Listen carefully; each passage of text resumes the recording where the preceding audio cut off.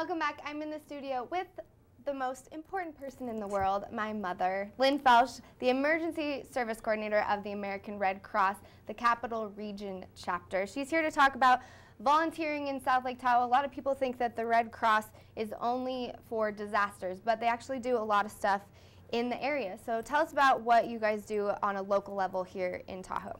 Well, actually, we have 97% of all the things that we do are residential fires. So people don't realize that. And we have what's called a disaster action team.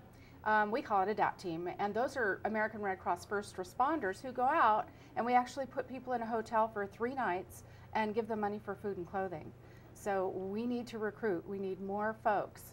And you guys did just open up a warming center for a couple weeks ago when the temperatures were very cold. A lot of people were out of power and they couldn't get that many volunteers to help out. So what do the volunteers in this area do and how, how can they help the Red Cross? Well, what we need to have them do is get trained. And just so happens, I have a training class this Saturday from 9 to 4 in Meyers. Um, so what I'd like them to do is call me as soon as possible.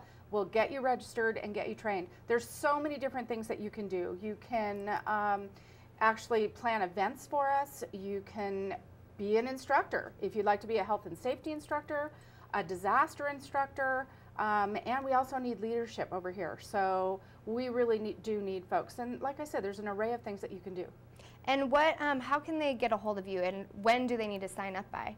Well, I would need to know probably by Thursday. Um, and they can just call me at 530 391 8234. And they can also go to the website and check out what we do. Um, and that would be redcrosscrc.org. Um, we've got a lot of classes. We've got, you know, babysitting would be great for the young ones. So um, that would be an opportunity. And the other thing that we have coming up is uh, Red Cross Month in March. Right. So that has been actually a presidential declaration for years. Um, and what we'd like to see is everybody do something for the Red Cross. Take a class for yourself. Learn how to save a life. Right. Um, give blood. We can always use that. Um, and then, like I said, you can donate as well. And what about CPR certifications and stuff like that? I know you guys do that. So um, do you have any of those classes? We do. And as a matter of fact, we've just had a change. Um, we are now able to certify a two-year certificate.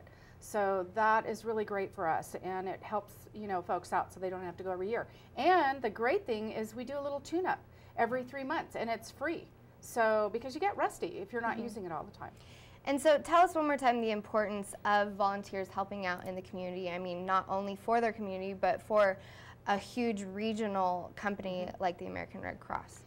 Well, you all remember Angora Fire. Right. And, uh, you know, the Red Cross now jumps into action. And so you've got to keep trained. And, you know, they don't happen all the time.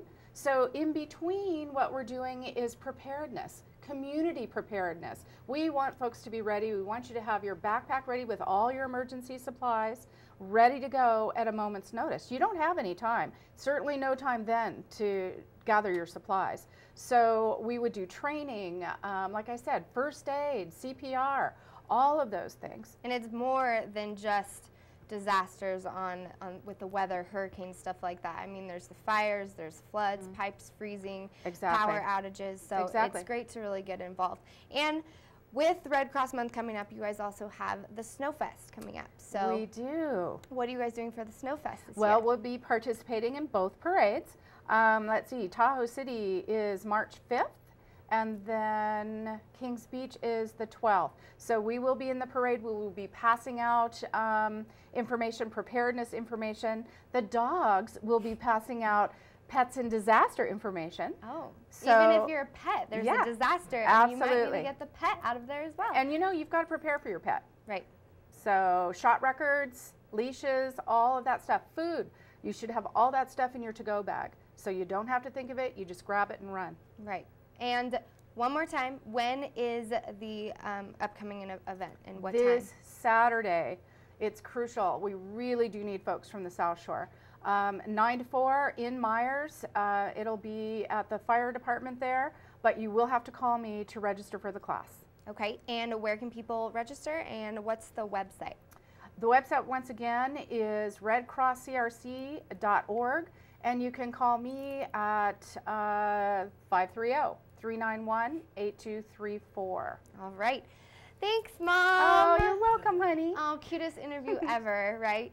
So, Red Cross, Sierra, they need volunteers. Very important to help out the community and the American Red Cross. We will be back and go ahead and wrap up the show when we return for Tahoe Today.